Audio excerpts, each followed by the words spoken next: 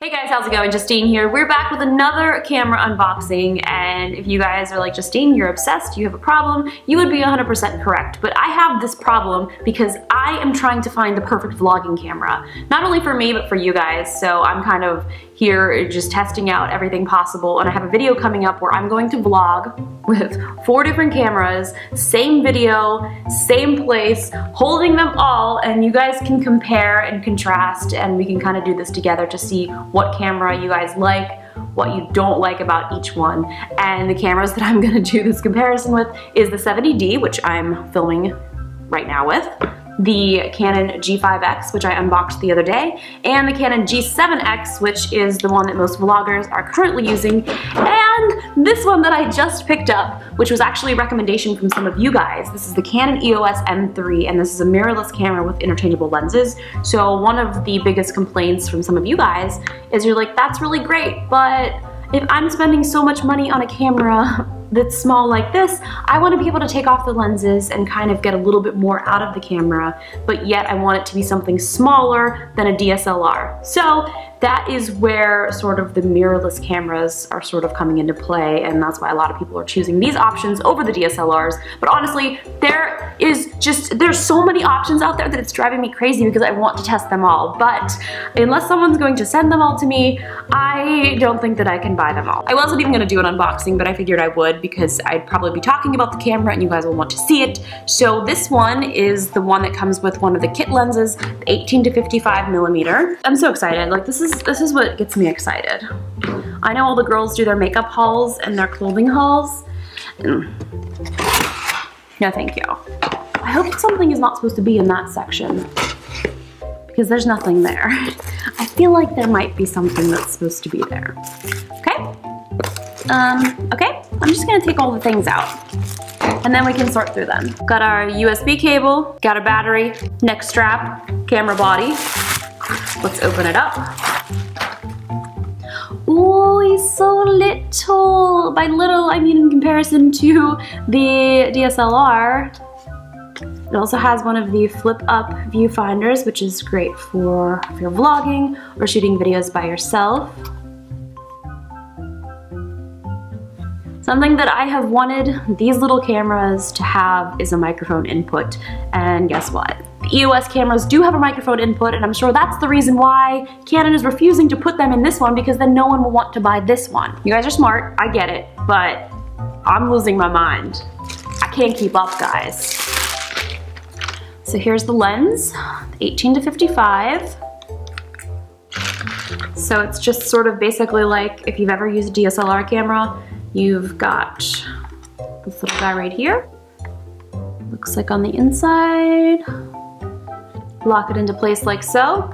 You'll definitely notice this is clearly much bigger than the previous little guys here because of the lens, but you can also get different lenses, which is gonna be such a cool feature if you wanna do photos or do videos. And especially for me when I travel a lot, I like to try to find the most compact system that I can just carry with me that works very easily. We'll pop the battery in like so.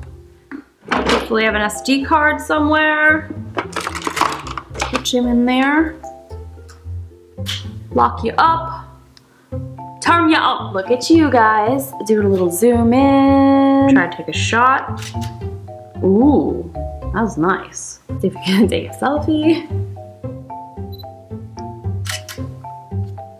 Oh, that was a nice shot, a real nice shot. All right, let's try to do a video. One of the things when I'm filming with a DSLR, the image stabilization for video is usually not that good, which is why I love using sort of these smaller cameras. And it already looks like I can tell that the image stabilization on this little guy is definitely much better than one of the DSLRs. But we'll see, we'll see. Okay, so this is a video direct from the EOS M3. We can zoom in. Does it autofocus, please? Please have a nice focus. Oh, wow. It's definitely heavier than the G5X, which is here, and way heavier than the G7X. So a lot of times when people are vlogging, one of the things that is most important is portability, but also depending upon what you're trying to create, you're gonna want something that has good audio straight off of the camera. So let's, uh, let's see how this audio is, shall we? My first impression on the onboard audio on the EOS M3, it's actually pretty good and I'm in a pretty big room and it's very echoey, so I'm sure using that in a smaller setting, it'll be a lot better. Also, in this current video, I do have the volume turned up a little bit, which I did do in post, but in the clip that you just saw that came straight from the EOS M3, I did absolutely nothing to the audio, did nothing to the video, so that was straight from the camera. So what you saw is what you got, and it's actually pretty good. Now let's take a listen to what this camera sounds like with an external audio input. I'm gonna unplug this microphone, so now we're gonna go to the regular camera audio. Put you on top of here, plug you in. My problem is I can't flip this up, but that's okay, we get the point. Um, okay, all right, here it is. This is a microphone test with the EOS M3 using one of the external mics and I'm pretty excited because this is basically all I've ever wanted in a camera is to have a small portable camera with an external mic option. That's all I want. That's all I want, guys. This is it. First impression of what it sounds like with the external microphone, it's clearly so much better. And obviously it's going to be because you have an external microphone, so that allows you to have so many more options and clearly have better audio. So yes, that is definitely a big selling point. Yes, success. So there's a lot of accessories that you can also get for this. There's an external flash, which you can just plug in right here. And you can also get an external viewfinder for those of you who are used to shooting with DSLRs and you like to have the viewfinder option. But most of the time, if you can see right here, you can basically see everything that you need to see on that and just take your photos like so. Man, it's really nice. I'm real into it. Oh, this also has a pop-up flash too, which is great. That looks very fragile, so be very, very careful with that little guy. Puts you back down. There's a little button on the side you can just push to pop that up. This is the EOS M3. This was announced, I think, last year. And in comparison to the G5X, the body size is almost identical.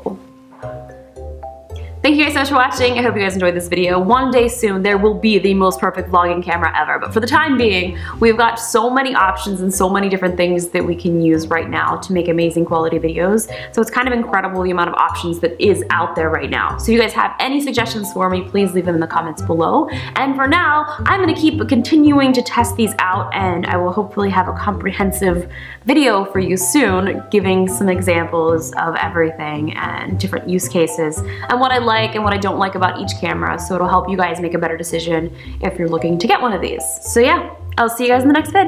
Bye! I don't think this is gonna work. My confidence is very low for this cooking endeavor. That's how most house fires start. Really? Yep. Okay, listen, I might need you to stand by. That is not a churro.